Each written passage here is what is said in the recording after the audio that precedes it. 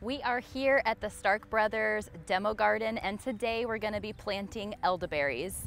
These plants are native to the United States and they're becoming increasingly popular in edible landscapes and homesteads. The berries and flowers of elderberry are packed with antioxidants that boost your immune system. The fruit is great for making juices and jams and syrups and it's like having a medicine cabinet in your backyard.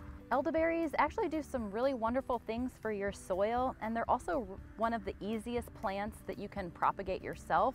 So with just a few, you can really spread out in your yard and have enough for you and your family. Elderberries have beautiful flowers that bloom late spring and then the fruit begins to ripen late summer. They turn a deeper purple color. We chose the Wyldewood um, elderberry and then also the Nova uh, elderberry. You do need two different varieties to pollinate each other.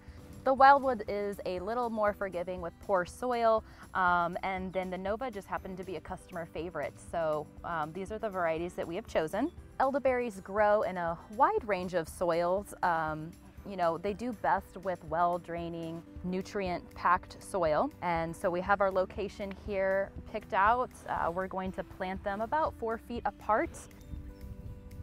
We've got our two elderberry plants in the ground and watered, and we can't wait to see how they do. To learn more about elderberry plants, go to starkbros.com and check out our growing guide section.